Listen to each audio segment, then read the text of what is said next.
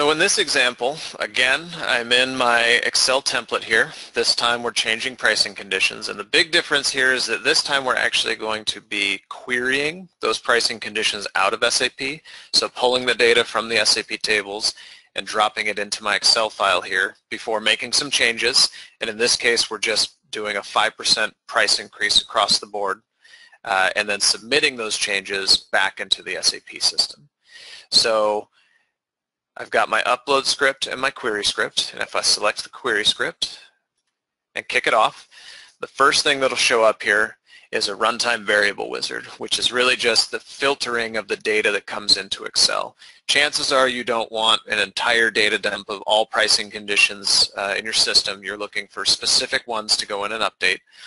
So in this case, you can see we're looking for a specific type within a specific sales organ distribution channel, and I'll actually filter based on a material range here too.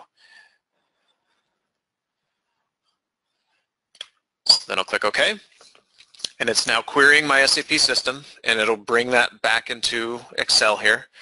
So we can see for the material numbers that I listed, here's the current amount, and here's the updated amount just using an Excel formula to add 5% to that, as well as an Excel formula to give me my new valid from date.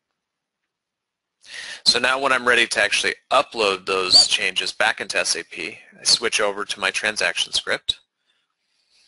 And again, we can validate the data, make sure that it's going to be accepted by the system. Since I just got most of this information from SAP, I'm not expecting any data errors here. Although it looks like it did try and run an extra record there.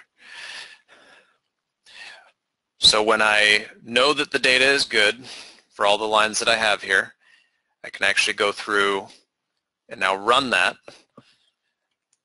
And again, we'll see that it's going through and updating those condition records in SAP.